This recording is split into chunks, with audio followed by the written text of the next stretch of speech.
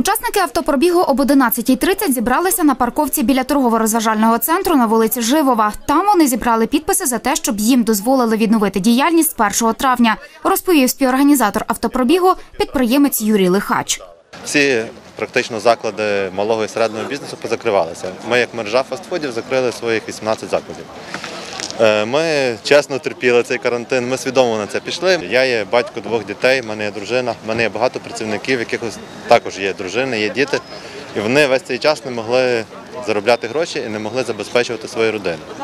Пройшло вже півтора місяця, ніяких дій стосовно якихось послаблень карантину немає. На жаль, гроші в нас всіх вже закінчуються. Ці заклади, які працювали, заправки, на яких можна спокійно зайти і поїсти хот-дог, каву, в принципі, що хочеш, ніякого серйозного впливу на захворюваність е, не дали.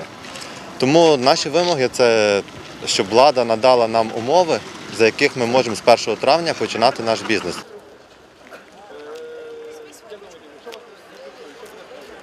Я представляю е, ломбарди, фінансові компанії і фінансові установи, в тому числі обміни валют. Не є нормальною ситуацією, коли одні фінансові установи, такі як там е, е, банки чи страхові компанії, дозволено дозволено до роботи, а е, ломбарди та кредитні спілки були заборонені.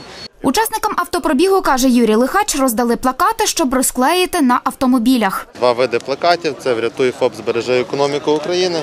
І другий це група, яка у нас створена, це Сейф ФОП Тернопіль. На свій автомобіль плакат клеїть Володимир Грабовенко. Він каже, вирішив взяти участь в автопробігу, щоб підтримати підприємців, на яких працює. Ця наклейка означає, що треба, щоб влада турбувалася про малий бізнес, який приносить податки в нашу державу, дає робочі місця.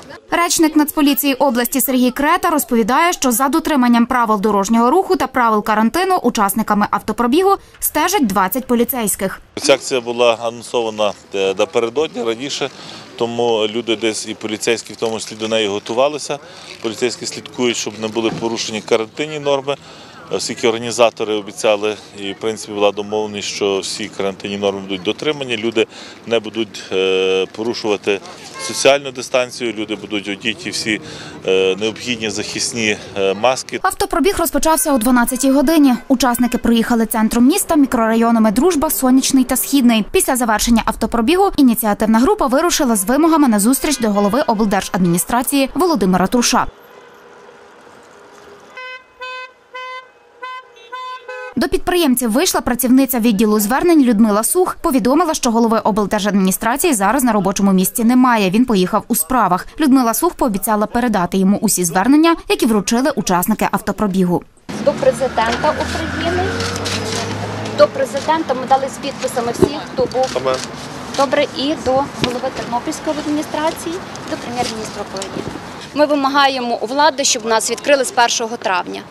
Просимо у президента, просимо у уряду, щоб нам дозволили працювати, а ми будемо дотримуватися усіх санітарних норм. У зверненні ми просимо президента, так щоб нам ще зменшити податки. Ті всі, що е, були підприємці закриті на карантині, щоб вони не сплачували за цей період взагалі податків, щоб ми не сплачували ні за оренду за землю, ні сплачували оренди. А також ми просимо у президента, щоб нам відклали ведення касових апаратів.